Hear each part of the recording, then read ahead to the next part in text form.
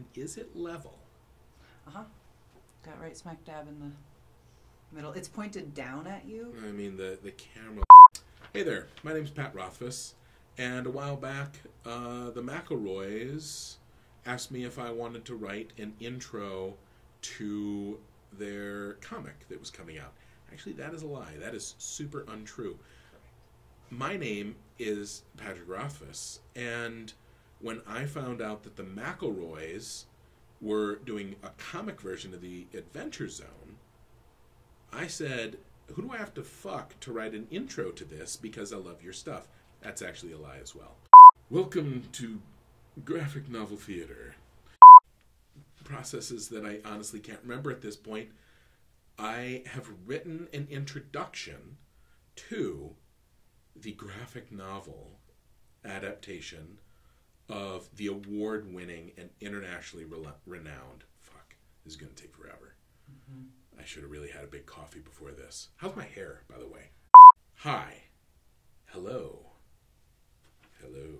Hey there, everybody. My name's Pat Rothfuss, and uh, through a series of fabulous adventures and lost barbets, I wrote the introduction to the graphic novel adaptation of The Adventure Zone, which is a D&D podcast that I love dearly.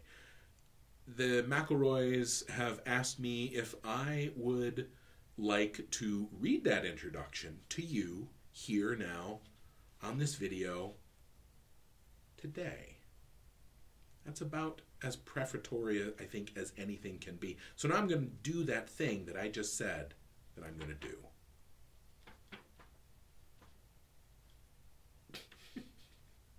When it comes to the Adventure Zone and the McElroys as a whole, I'll admit that I've been late to the game. My friends have adored them for years, but I'm stubborn, so it wasn't until November of 2016 that I finally caved to peer pressure and began sampling their unique flavor of artisanal auditory delectation.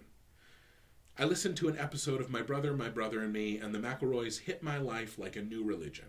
Within two months, I'd listened to more than 250 episodes of MBMBaM, and I would have made it through the entirety of their archive shortly thereafter, but that was when I had, had but that was when I discovered the Adventure Zone.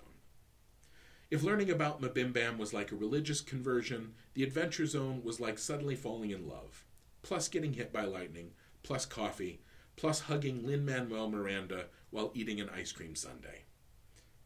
Okay, I'm not doing a good job of this. Let, let's start again. For those of you who may not know, I'm a fantasy author. My books have been translated into 35 different languages and sell millions of copies all over the world. I mention this not to brag, but because it's the easiest way to prove that I know a little bit about stories. I story for a living. I'm pretty good at it. So let me say, honestly and sincerely, that The Adventure Zone is some of the finest storytelling I have ever experienced in any genre ever. I also know a little bit about role playing. I've played D&D my whole life since 1982. I worked my way through every edition except 4th. And these days I play D&D in packed stadiums with Acquisitions Incorporated. I guest star in Critical Role. I've, vis- I've visited the D&D offices and we're currently working on some secrety collaborations that I cannot mention because of NDAs. With that in mind, I'd like to say that the McElroys have done something with D&D that I've never seen before. They've done something I didn't know it was possible to do. They've made something magical and loving and kind and beautiful. And the world is better because this story is in it. I've listened to the entirety of The Adventure Zone more than three times over the last eight months.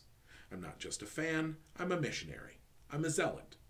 I'm not saying I'm working on my Merle cosplay or anything, but yeah, fine, I'll admit it. I'm working on my Merle cosplay.